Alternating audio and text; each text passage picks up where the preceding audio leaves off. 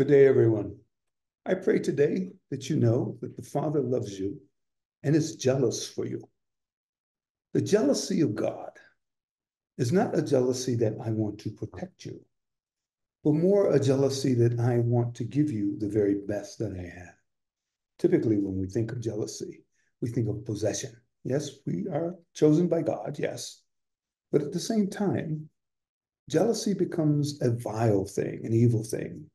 I know many couples and folks that I've counseled over the years who he's just jealous. So I don't want you to talking to that person. I want you doing this. Well, it because I want you for me, which becomes an issue of consuming. Whereas the Father's jealousy, remember, he says, I am a jealous God. It's the idea that I want to give you everything that I have. Therefore, I am jealous for you, that you may receive everything I have for you. And so the Father blesses us that way and encourages us to make sure that we're walking with Him because of He has His jealousy for us, jealousy to give, not to consume, not to have us bound down, but for freedom. John has been helping us with this. In John chapter 2, verse 15, he says, Don't love the world, the cosmos, all of that out there behind me, the cosmos. What's the issue here with the cosmos? Well, Jesus says it so well the God of this world. The God of this world, yes, God owns it all, yes, that is true. He made it, yes. But the enemy has come and disrupted everything through sin. And so the enemy draws us into himself, wants us to worship him. Go to Isaiah, and we know that he wants to be worshiped like God, be God. That's again, this I'm jealous because I want this, as opposed to I want to give you. But John helps us here in verse 16 because he helps us understand a couple practical things about the world and three things that distract us from the Father. He says this For all that is in the world, one, the lust of the flesh, two, the uh, lust of the eyes, three, the boastful pride of life. They're not from the Father, but from the world, the cosmos. That is where the enemy is ruling. But what's John saying to us? Well, he uses some curious words here. Typically, we define the word uh, epithumia, two words, epithumia, in the Greek as lust. But it's not just lust. Lust is, I want to have this, I've got to have this. But no, the idea behind epithumia is the idea that this is my main desire. This is my craving. This is what I have affection for. Eros is purely sexual. I want to consume that. That's where the idea of lust comes from. I want to have this as a part of me. Whereas instead, epithumia is those things that I have desires for. I have things I want, I crave. John goes on and says, the epithumia of the flesh, the sarx. Now, the idea behind sarx, our flesh, is that we're but dust. And the idea there behind dust is that Satan has been cursed to eat the dust of the earth. So, what does Satan design for us? As uh, Frangipane says, he desires our dust. He wants this, our sarx, our fleshliness, our fleshliness without God. And so then he goes on, John, and helps us. He says, This is all from the world.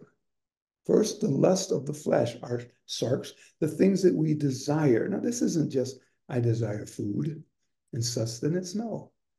These are the things I crave after. Those things that you really, really want. They have nothing to do with God at all. But it is the enemy tantalizing you. The enemy saying, hey, come take this. Come, you will enjoy this. Remember Adam and Eve in the garden? Ah, come, Take this, this will make you wise. You will enjoy this, you'll become like gods. We begin to desire it because our flesh desires it, not the spirit. Our flesh says, consume. Oh, let me do this. Even go further. Epithumia becomes those things that we become addicted to. We become addicted to lifestyle, language, etc. Those things that we become addicted to. The next thing John says, the lust of the eyes, the epithumia of the eyes. Ah, my eyes see it. Often, even as grown Christians, we become like two and three year olds in the grocery store. I see this cereal, I want it. Or we're in the toy store, I gotta have this toy. So we throw our tantrum because our eyes see it. We want it. We don't know why we want it. We want it because our eyes make us feel like I've got to have that. It will make me fresh and new. Watch TV occasionally. And All the things, the lust of the eyes, the epithumia of the eyes. You've got to look this way, talk this way. You've got to put on this makeup. Men, you've got to try this shaving cream. You've got to try this deodorant. You've got to try Axe. You've got all these things. Why? Because it is the lust of the eyes, which comes through our nostrils to make us desire. Because my eyes see it, I want it. All the things we see in beauty, we go, oh, yes, my eyes delight in this. But is that the delight that the Father wants you to have?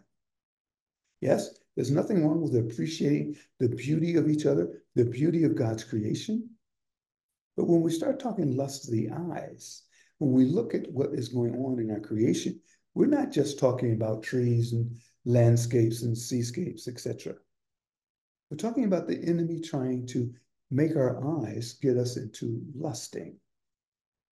I desire that.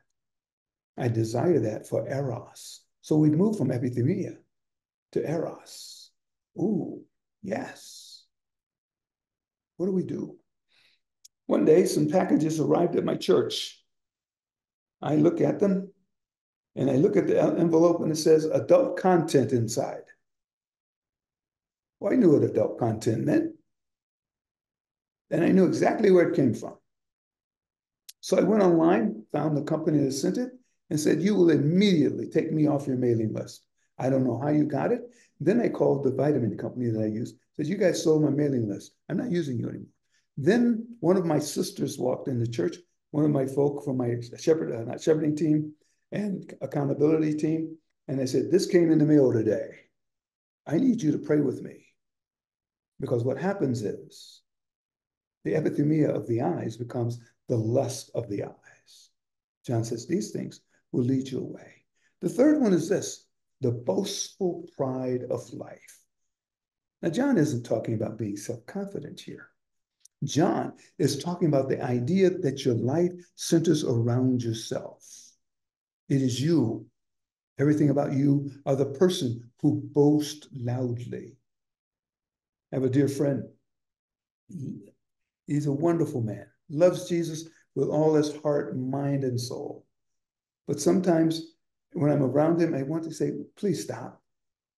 Because every conversation gets back to him, who he is, what he has done, those kind of things. That is the boastful pride of life.